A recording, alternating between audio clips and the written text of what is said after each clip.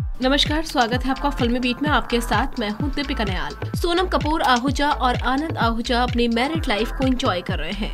दोनों के बीच ज़बरदस्त बॉन्डिंग है। उनकी रोमांटिक फ़ोटो सोशल मीडिया पर छाई रहती है। बहरहाल, अब कपल की एक और फ़ोटो सोशल मीडिया पर तेज़ी से वायरल हो रही है।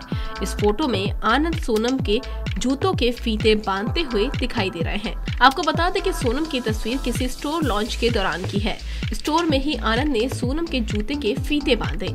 आनंद के सोनम को लेकर इस स्वीट जेस्टर के चलते सोशल मीडिया पर आनंद की काफ़ी ज़्यादा तारीफ़ हो रही है। फैंस इस फ़ोटो पर अलग अलग तरह के कमेंट कर रहे हैं और आनंद आहूजा को परफेक्ट हस्बैंड बता रहे हैं। वैसे ये पहली बार नहीं है, इससे पहले भी आनंद आहूजा कई बार अपने परफेक्ट हस्बैंड होने का सबूत दे चुके हैं और ये सब लोगों ने देखा है। तस्वीरों में आप देख सकते हैं कि आनंद आहूजा कैसे हँसते हँसते सोनम के जूतों के फीते बाँध रहे हैं। वहीं सोनम भी उन्हें खड़े होकर निहार रही है। बात अगर सोनम के आउटफिट की करें तो स्टोर लॉन्च के लिए सोनम ने मस्टर्ड येलो कलर का आउटफिट कैरी किया था। इस ड्रेस के साथ उन्होंने मैचिंग स्पोर्ट शूज़ पेयर किए।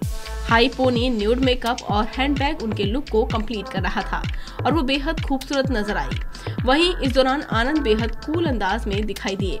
बात अगर दोनों की शादी की करें तो सोनम और आनंद की शादी मई 2018 में हुई थी। दोनों की शादी साल की सबसे चर्चित और आलिशान शादियों में से एक थी।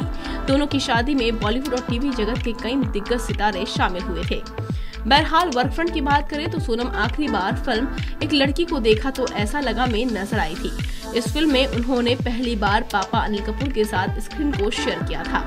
इस फ़िल्म में राजकुमार राव और जूही चावला का भी अहम किरदार था। फ़िल्म की कहानी समलैंगिक रिलेशनशिप पर बेस्ड थी। हालाँकि फ़िल्म को बॉक्स ऑफ़िस पर कोई खास रिस्पॉन्स नहीं मिला।